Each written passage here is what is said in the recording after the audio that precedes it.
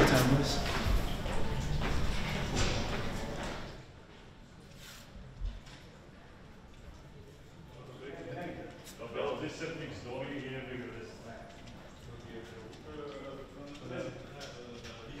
Dat is goed?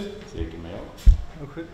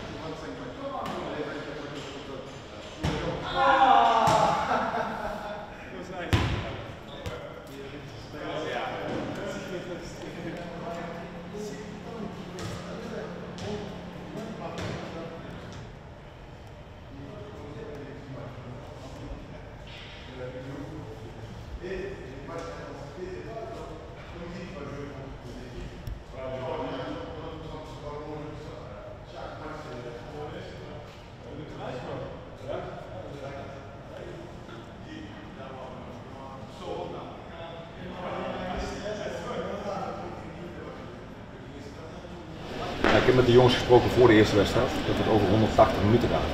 Eh, buiten, buiten verlenging.